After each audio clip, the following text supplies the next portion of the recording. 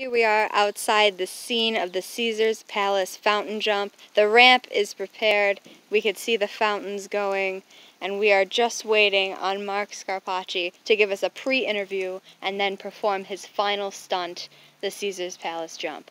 We'll check back in a little bit. Back again with Mark Scarpacci for the fireside chat pre-Caesars Palace jump. How are you feeling tonight, Mark? Bad. Bad? Worse than. Why? Well, I know that I'm going to crash.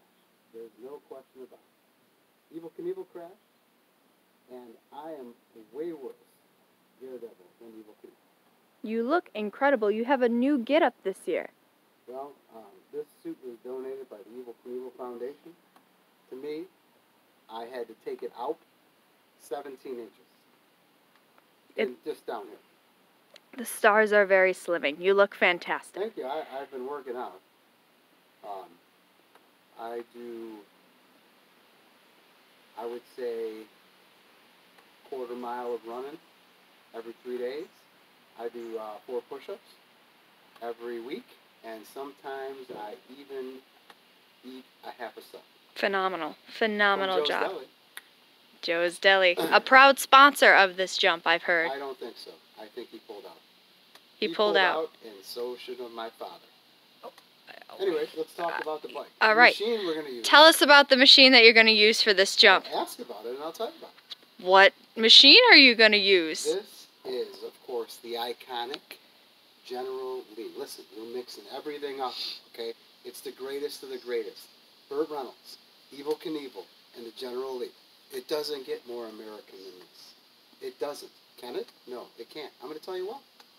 Look at 1970s, General Lee. Guess who this was built by?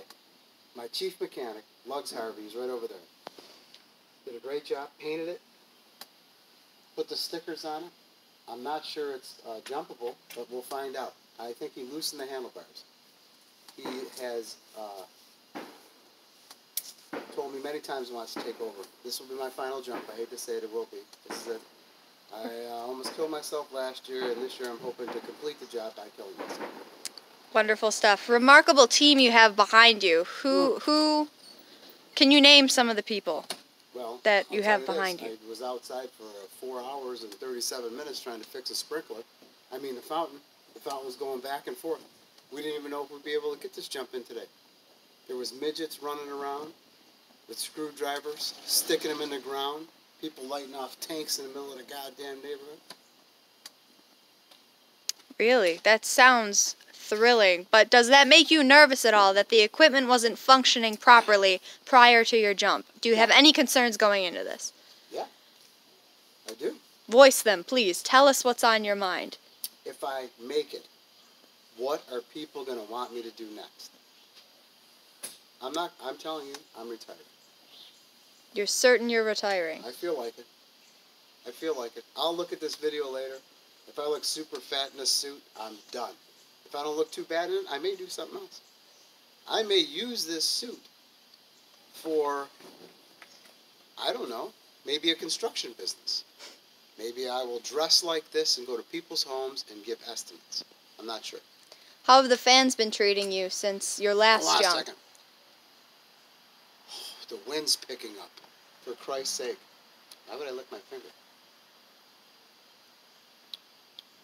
What is that? I don't know. Anyways, go ahead. Okay, Um, that made me lose my train of thought. Uh, You know where that's been. how have your fans been treating you since your last jump? That didn't quite go as planned. It didn't really land as well as you could have.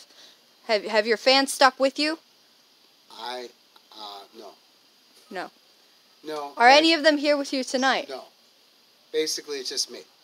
Has your wife been supporting you? No. Are you Are you sure she hasn't? Okay. She She's lovely. Yes, she, she just spit on the ground and you put the camera back over her. But it's Oh. fine. Um, she knows where her bread's buttered. and it's right here. Right there, in the Right stars beautiful and stripes. and the eagles fly. Anyways, let's just say this. It's the 4th of July. We love the 4th of July. We love America. We love families. We love apple pie. We love shit kicking whiskey drinking, cigar smoking, badass some bitches. That's why we're here. God bless America. Happy 4th of July, everybody. We're going to attempt to jump Caesar's Palace Fountain in 15 minutes. Beautiful closing remarks by Mark Scarpacci. We'll be back with the Caesars Fountain Jump.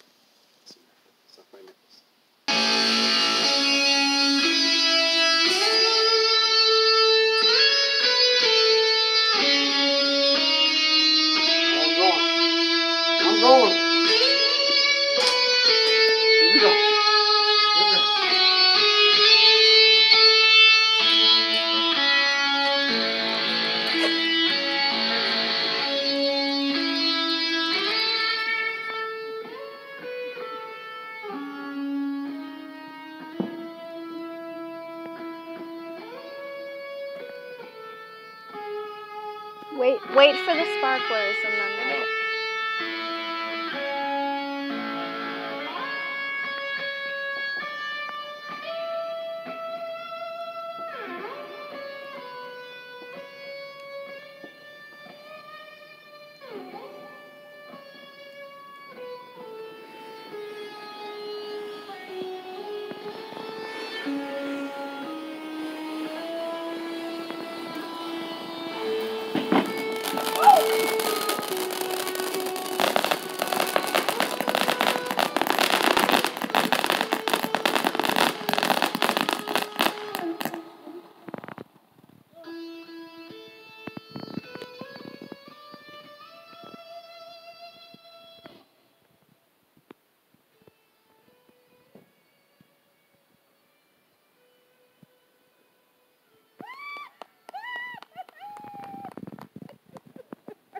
Told